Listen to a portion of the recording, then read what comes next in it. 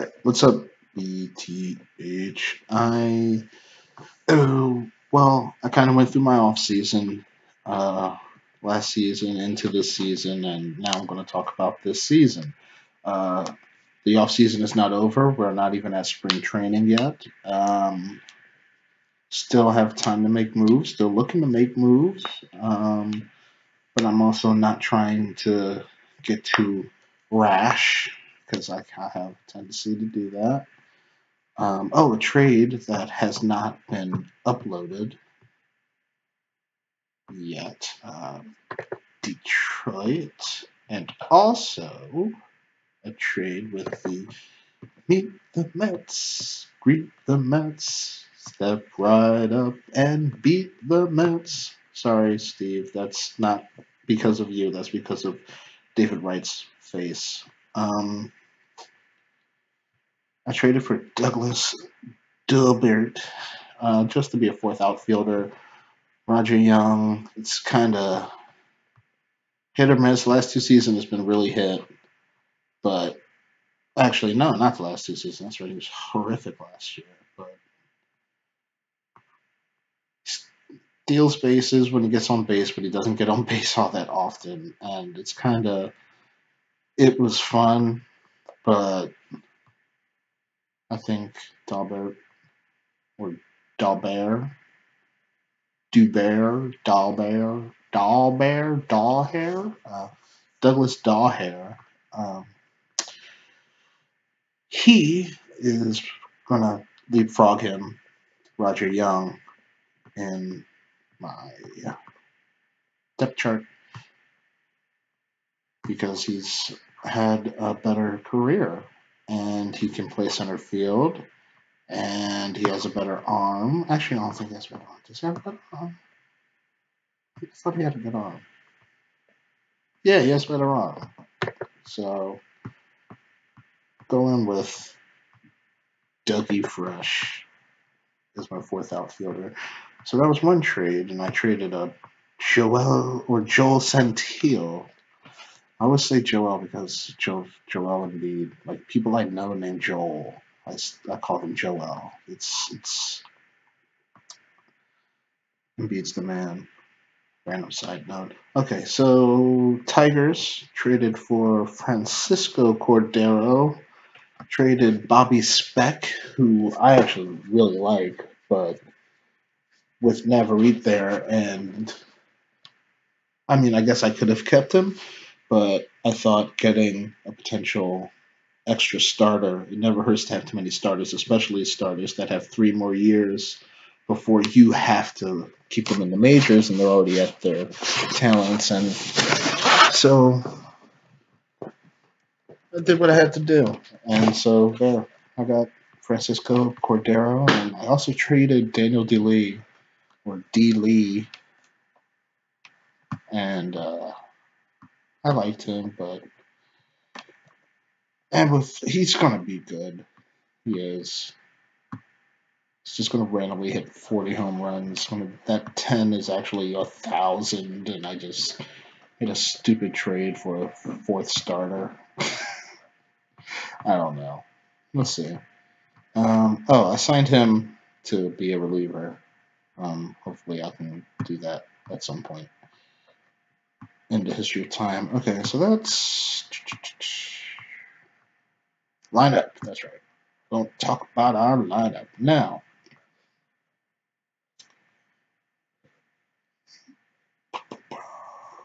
Did I already do it? Yeah, I already did it. Okay, so I have Tyler Garner leading off. Alberto Saldana. He's going to play short and bat second for now to see uh, how well he does getting on base. Like if he keeps it up around 33, 0.33, I should say, 33% of the time getting on base, he'll stick in that second spot. If he just comes out and he's just, just you know, shitting his pants at every at bat, then I'll move him down and probably switch it with Marcelo Amato, because I'm not so much worried about him getting on base as getting at bats because I think he's a special talent And even though he's a little old and a little underdeveloped, I think he's just a late bloomer. And sometimes there's late bloomers out there, and it takes them a while, but once they bloom, they're beautiful orange blossom, cherry blossom. I don't know if have, oranges do oranges have blossoms. I don't know. Okay. Um, Dean Stafford. I like when I first drafted him. Three quarters of the reason is because I'm a huge Chase Utley fan, and that's why he's the manager of the team still, and he will always be the manager of the team until he dies. Um, but Dean Stafford, he's basically Chase Utley, but right-handed. Other than that, he's basically the exact same player. Wonder if they have the same birthday. I don't know what Chase Utley's birthday is. Let's find out. December 17th. So, no, they're not. Don't, uh, they don't have the same birthday. It's disappointing but yeah, he's basically like Chase Utley. Like the numbers he puts up are basically like the numbers Chase Utley would put up. It's actually kind of freaky. Now I've never actually looked this up myself. I was just going by how I remember Chase Utley's stats in his career. So let's see. Well, he, he never quite did that, but he also, Dean Stafford doesn't play at Citizens Bank Park. um, so yeah, his average, career average, 278, 361, 472, 833. And you look at Dean Stafford, it's actually uh, better. 310, 399, 481. But as you can see, the, the numbers are very similar. Like, let's look up uh, peak Utley. Let's include the rookie season just because. Which was last 800. What, what are we looking at there? Yeah, 287, 373, 498, I think. Is that the same? Yeah, so basically he's Chase Utley. That was the whole point of doing all of that, and we got a chance to look at how amazing Chase Utley is, and if he doesn't make it to the Hall of Fame, I will burn it to the ground. Okay, so do do do do do do lineup. Okay, Casimiro Rivera. Um, just being honest, guys, I've started I've entered into a romantic relationship with Casemiro. He's my boo. You can't have him. He's mine forever. He's mine forever. He will always be mine. Just need you all to understand that. Um, I love him. I love him. I love him more than I love eight of my toes. That's like that's love right there. And there's nothing like love from a Dominican man I say. He was born on Halloween. He's just. He's my boo. He's my boo. Okay, so. Yeah. He's one of the four horsemen. Oh, yeah, I, I, my lineup, I consider the four horsemen Dean Stafford, obviously, Ric Flair, Yasutoki, obviously, Arn Anderson. Casimiro Ribeiro, he's Sid, and I don't care. I don't care. I, I don't care. He's fucking Sid as a four horseman. It should have worked. It needed to work. And then you have uh, Marcelo Amado. He's Paul Roma with a chance to become Tully Blanchard. But right now he's Paul Roma. And uh, yeah, that's those the four horsemen. Uh, maybe right something up about it. But I'm recording right now, so yeah. Casimiro Rivero, my boo, batting fifth. Then I have uh, Yasutoki batting fifth. Batting fourth and fifth. I'm, yeah, long day.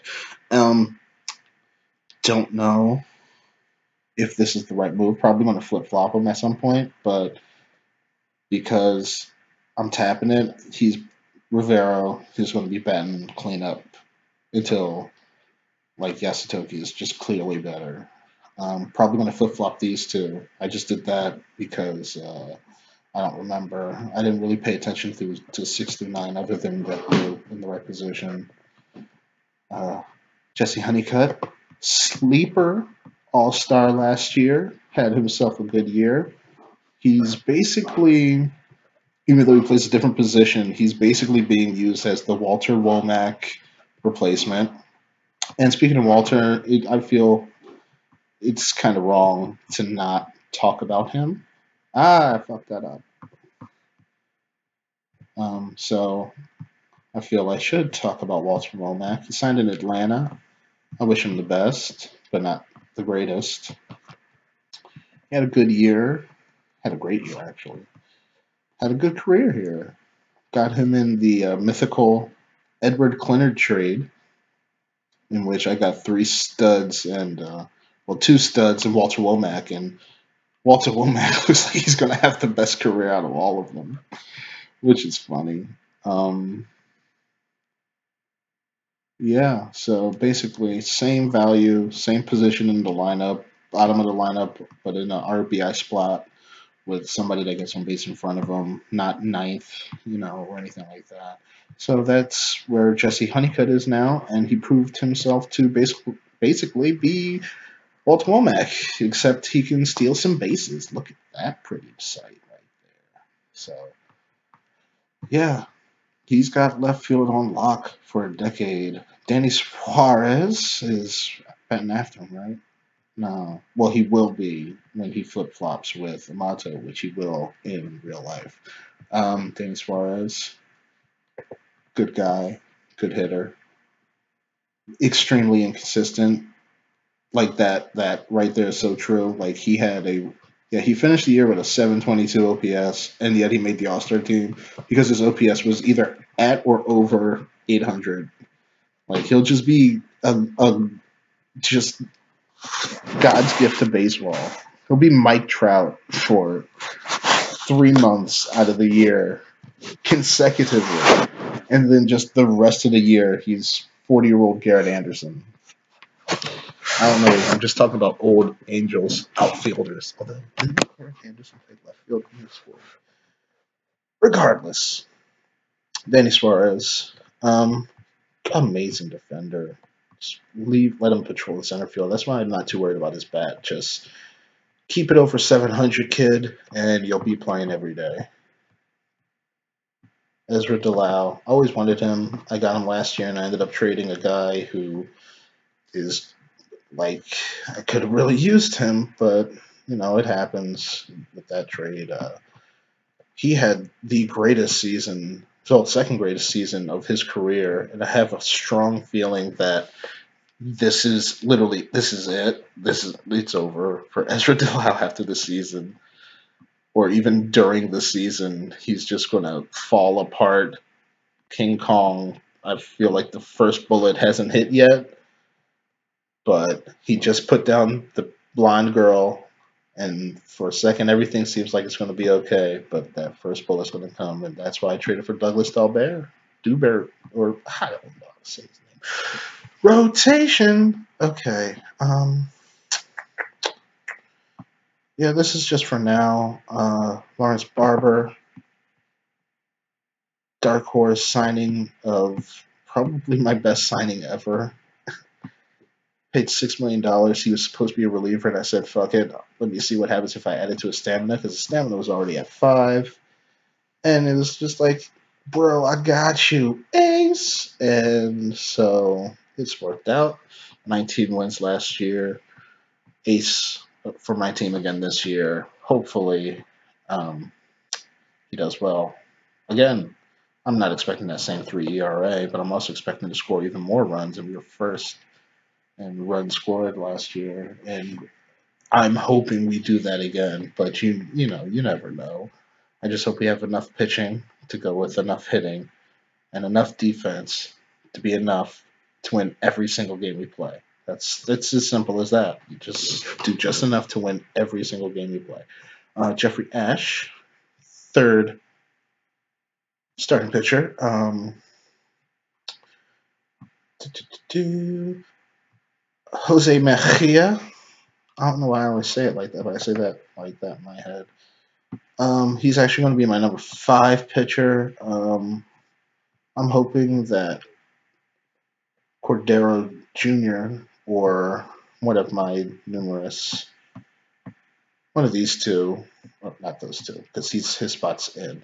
One of these two, hopefully, along with Cordero Jr., make it so that I can move Mejia to the bullpen because I think he'll do really well there. And I could always use somebody to fill in this spot because that spot is if if you've got the mop up reliever locked down, like who you know who your mop up relievers are, you probably play this game too much. Okay, Gail Otterson, uh, maybe gonna have to spend points on him, which is part of why I'm doing this video. But yeah, Gail Otterson, he's a person there. Um, uh, that's that's a look at my potential lineup. And uh, did I go over 10 minutes? Oh, God, I went 15. All right. I may have to randomly edit this because that's just throwing points out the window. And we can't be having that. All right. Bye.